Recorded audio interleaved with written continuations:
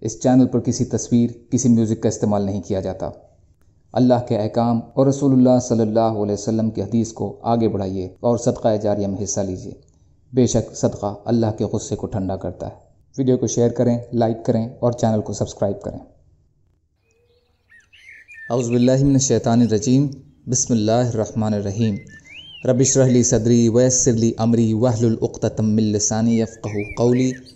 ریاض الصالحین۔ دوسرا حصہ احادیث نبوی صلی اللہ علیہ وسلم۔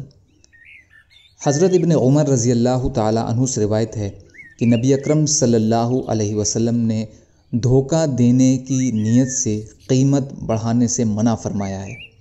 بخاری اور مسلم شریف۔ فائدہ۔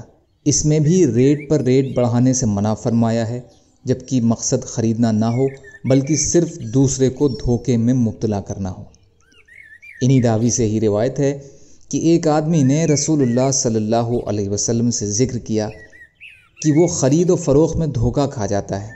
تو رسول اللہ صلی اللہ علیہ وسلم نے فرمایا، جس سے تو سودا کرے تو یہ کہہ دیا کر کہ دھوکہ نہیں ہونا چاہیے۔ بخاری اور مسلم۔ فائدہ۔ ان الفاظوں کے کہنے سے مقصد ثبوت خیار کا تحقق ہے۔ یعنی اگر سودے میں کوئی دھوکہ اور فریب ہوا تو خریدار کو سودا واپس کرنے کا حق ہوگا۔ بیچنے والوں کو بھی اس حق کا اہتمام کرنا پڑے گا۔ حضرت ابو حریرہ رضی اللہ تعالیٰ عنہ روایت فرماتے ہیں کہ رسول کریم صلی اللہ علیہ وسلم نے فرمایا، جو شخص کسی کی بیوی یا اس کے غلام کو دھوکہ دے تو وہ ہم میں سے نہیں ہے۔ ابو داود فائدہ۔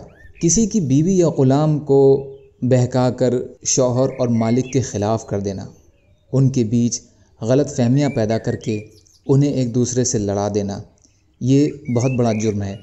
مومن کی شان تو لوگوں میں ملاپ کرانا ہے، نہ کہ لوگوں کے بیچ فساد ڈالنا۔ قسم توڑنے کے حرام ہونے کا بیان۔ اللہ تعالیٰ فرماتے ہیں، اے ایمان والوں، وعدوں کو پورا کرو۔ سورہ معدہ آیت نمبر ایک کا ترجمہ۔ سورہ بنی اسرائیل، آیت نمبر چوتیس کا ترجمہ۔ کہ وعدے کو پورا کرو، اس لیے کہ وعدہ کی بابت پوچھا جائے گا۔ فائدہ ایک وعدہ تو وہ ہے جو انسان آپس میں کرتے ہیں، اور ایک وعدہ وہ ہے جو اللہ نے انسانوں سے لیا ہے کہ وہ اس کی توحید اور ربوبیت کا اقرار کریں اور اس کے احکام اور ہدایات کے مطابق زندگی گزاریں۔ ان دونوں قسم کے وعدوں کو نبھانا ضروری ہے اور ان میں کوتاہی پر قیامت والے دن پوچھ گچھ ہوگی۔ اللہ تعالیٰ کہنے سننے سے زیادہ عمل کی توفیق عطا فرمائے۔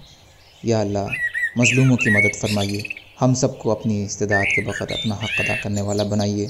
سبحان اللہ وبی حمدی سبحان کا اللہ وبی حمد کا اشد اللہ الہ الا انتا استغفر کا واتوب الیک۔